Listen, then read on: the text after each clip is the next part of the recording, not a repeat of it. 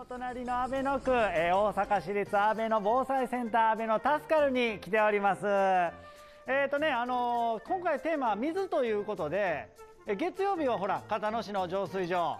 で昨日火曜日はねあの金様がいじめられるねあの水に関する商品をねご紹介したんですけども今日はですねあのまあちょっと怖い話言ったらあれですけどちょっと真面目なお話をね、えーしていきたいなと思っております、えーまずねご紹介しましょう。こちら阿部のタスカセンター長の松尾さんです。よろしくお願いします。よよろしくお願いします。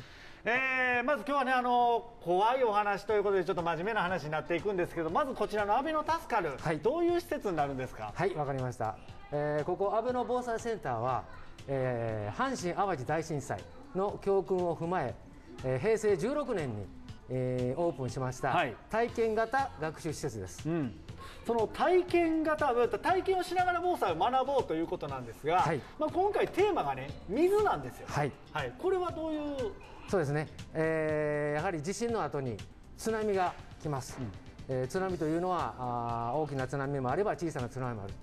この津波の怖さをお体験していただきたいなと思います。はい。まあ、その津波を体験できるということでちょっと今日はね施設を見せていただくんですが早速いいですか？はいお願いします。はい。あのーまあ普段はねこちらから順路で入っていくんですけども今日はちょっと後ろからね、はい。入るということで、まあはい。特別で、ね、お願いします。いつもより反対回りです。反対回りです。であの僕はあの看護師と、えー防災士という資格を持っておりまして松尾さんは消防士と救急救命士救急救命士を持っておられるというなんかすごいね あの資格の2人が 行くんですけど、まあ、こちらから今日入らせていただきます、はい、えーこちらにはあーうわー。避難し、えー津波避難ですね。津波避難をお学ぶコーナーがあります。これはすごいでしょう、はい。皆さんどうですかこれは。本当や。これは地震発生直後のリアルな街をお再現しております。地震の後の街をリアルに再現してるんですけども例えばこことかやったらどういう危険性があるとかってあるんですか？そうですね。こちらにはもう落ちかけた落ちかけの瓦はい。もありますし、えー火花電線からも火花が散っておりまあす下ですね、はい。火花。さらにその下にはあー壊れたバイクがありますのでこちらのガソリンに火花で引火すると。で火事になるってしまうと。可能性もあるとはいまあでもこれはねまあ言ったらまだこれ水関係ないですもんね。そうですね。水といえばはい、ここちちらにですすね、はい。えー津波、えー避難、はい。津波避難を学ぶコーナーがあります。うわーこれね皆さん現場ねちょっとここひんやりしてるんですけどもなんかもうリリアルすぎてちょっと言葉が適切かどうかわからないですけどもちょっと気持ち悪いぐらいリアルなんですよ。で、ね。こちらがエンドマート、はい。ここが言ったら津波の被害を受けてるということそうですね。ね。もうこのエンドマートそのものもお中がくちゃくちゃになった状態です。すもんはい。ねで僕気になったのはこっちにあのメーターというかその高さのメーターが刻んであるんですけどこれは？そうですね。これはあー来るかもしれない南海トラフがもし襲ってきた時に大阪に予想されるうん津波の高さを表示しております。これ皆さん分かります？これ今30センチ旭区ね中央区で1メートルのところには鶴見区住吉区とこう書いてあるんですよ。で僕ら防災の世界でいうと30センチの津波水の流れがあったらもう足すくわれて流されるって言われてるんですけども、もうほら北区でももう2メーターあったらねよく聞きません？津波12メーター気をつけてくださいみたいな、はい。だからもう,、ねもうこの状態であれなんですけどこれを今日は見せていただけるということはい、ですねその通りです。こちらのエンドマートにはいプロジェクションマッピングであ津波の速さ、高さをお体験していただきます。はあ見られるということですね。おあそういうことね。子供ちゃんの背の高さがそうですね大体はい高さってことですよね。もうすぐにやってきます。で、えーまず水が流れああ来ましたね来ました。おちょっと怖いな怖いな。あ水がこう流れてきてこれで大体もう30センチぐらいちゃいますか？はい、はい、その通りです。これも朝旭区がもう被害を受けてる状態ですね。でもう腰あたりちょうどもうこれで1メータはい、ーはい1メーター超えました。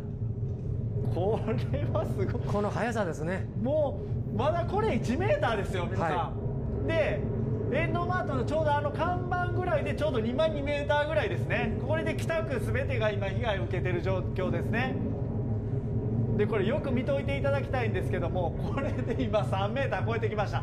もうね流れてるもの見ておいてください。もうすごいこれほらもう車がもう流れちゃうぐらいの勢いになってるっていうことなんですよ。もう家5メートルになった家が流れてるという状況なんですけどもね。あのセンター長これやっぱりちょっと僕ら気にしとかなあかん、まず津波が起こった時に一番大事にしないと避難する時に大事にしないといけないことってどういうことなんですか、はい、もう津波に関するう言葉ですね早く高くもうこれに限ります。今わかりますよね、はい。とりあえず高くはい行くっていうことですよね、スピードと高さですね。あとやっぱり僕らその関西に住んでると、まあ、特に僕は思ってるんですけどなんかその津波とか被害ないんちゃうかと思いがちな人多いと思うんですけど実際どうですか？その通りです。大阪の人はやはり大阪には津波なんかけえへんというふうな意識があるのがもうあの間違いないと思ってます。ですので自分の住んでるところが安全なところであっても遊びにわ、えー大阪湾とかいう湾岸沿いに行くとそこで地震が発生した時には津波が来るぞという意識を持っていただきたいなと思います、まあ、楽しむ中にもちょっとそういう意識を持っとかないといけないっていうことですよね。その通りですね。はい、先ほどはあの、はい。津波の被害がこんなんだよっていうのを見ていただいたんですが今ちょっと後ろにも見えますよね。震度7とね、えーこちらで地震の体験ができるということであんまり気は進んでないんですけどもね。改めましてセンター長松尾さんよろしくお願いします。よろしくお願いします。えーまあ、これも聞き方どう言っていいかわかんないですけど、まあ、どういった地震が体験できるんですか、はい、ここはあの起震装置というのを使いまして、はい。えーまずは、えー地震の怖さを体験していただきます。はい。はい、あのいわゆるこの縦揺れと横揺れってあるじゃないですか。そんなんも体験できる。そうですね。えーまずはあの内陸型とか直下型と言われるようなあ縦揺れはい。長さは短いんですけども縦揺れでドスンとくる、地震とあとはあの海溝型と言われる海で発生する地震ですのでこれは横揺れがメインとなってゆらゆらと揺れるような感じですね。はい、これをここで体験することができるということで、まあ今から僕もねセンター長も体験するという。えー、そうなんですね。行き。ましょうか。私も乗るんですね。いやそりゃそうですよ。行きましょう行きましょう。わかりました。はい。いやあの僕はもちろんねあの何回かこういうの乗ったことはあるんですけど、まあ、ここで乗るのは初めてなんですよ。で実際そのセンター長は乗らないんですってもう。セセンター長2回目です。センター長今2回目らしいですいやいつもほら説明をしてボタンを押す係なのでそうそう。はい、もちろん初めには乗ら乗らはってね、はい、はい。でもあのこうやっていつもあそこにボタンを押す係だから。いやーもうこれ俺嫌やわ。なんかね普通に怖いしねいろんなこと思い出すんですよね。本当に激しく揺れますのでしっかりお待ちくださいね。そんな。振りやめてください。あ前に映像が出るんですねおおむね100年から150年。こちらのこの地震がどういうものなのかっていうちょっと説明のねあの映像が前で流れてますね。1944年の昭和うわなんかもうドキドキするわ。怖いわもう嫌やわ1946年の昭和南海トラフ地地震。のね、はい、震度7ですこれはちなみにあの縦揺れ横揺れでいうとこれ横揺れですね横揺れの方、はい聞いとかな怖いからはいいやーこれほんまにねいつ起こるかわからないっていうね今船舶性が高まっているということだ。ああすごいカウントダウンされる。あ映像があるんですね。実際前に映像あ映像も揺れるタイプね。あーもう怖い怖い怖い。ああすごいね。おおえこれうわうわうわこれ皆さん音聞こえ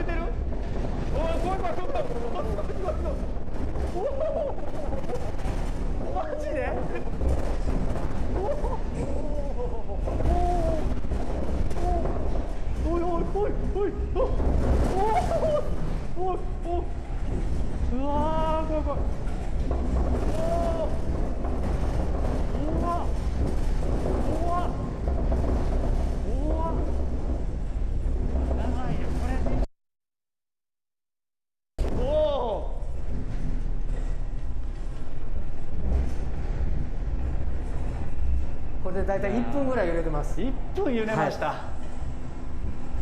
い、やーこれ皆さんあ怖い。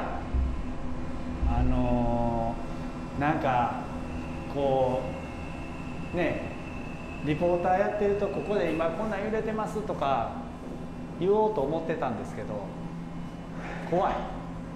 そんなそんなどころやないああちょっと待って足足がフラフラする。まだ揺れてますねああす体ごいすごい。まだ揺れてる自分の中で。うわ怖いわ。ああすごい。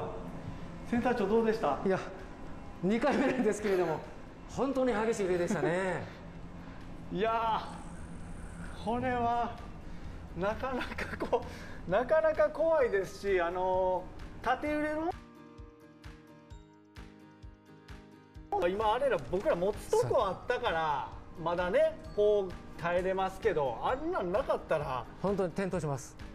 もう転んじゃいます。無理ですよね、ですのでやはりその時点ではおそらくしゃがむような体勢を取るのが普通かと思いますね、うんまあよくあの阪神大震災でもねあの言ったら圧迫死、はい。こうタンスが倒れてきて亡くなってしまうという方がまあ倒れますよね普通に。本当に倒れますね。だからやっぱり家具固定をどれだけしてるかっていうのもはい重要になってくるし、本当に備えの重要なところですね。あの実際やっぱりこういろいろ聞くけど体験すると、このね防災に関する意識って変わりますよね。本当そうですね。ただやっぱりその防災って言われるとすごくこう難しいとか、うんうんなんか面倒だって思う人が非常に多いと思うんですけど、このと楽しく学べるほやっぱこう起きたそうなんですかね？そうですね、あのー本当に怖いえーコーナーもいっぱいあるんですけれども、お子さんたちがちょっと楽しいなというコーナーがあそこにキッズ消防パークというのがあります。はあ、はあはあそこにはあのクイズとかですね、えー手で押さえると消防車が走ったり救急車が走ったりするちょっと楽しいコーナーもあります。安倍の防災センターはですね、えー防災を学習しようという時のお最初のさ第一歩起点として考えておりますのでどうかご気楽に、えーこちらに来館していただきたいなと思います。どうぞよろしくお願いいたします。もういつ来るかわからない。そして絶対来ないというのは絶対にないので、えー皆さんこの防災ねちょっと意識を持っていただければと思います。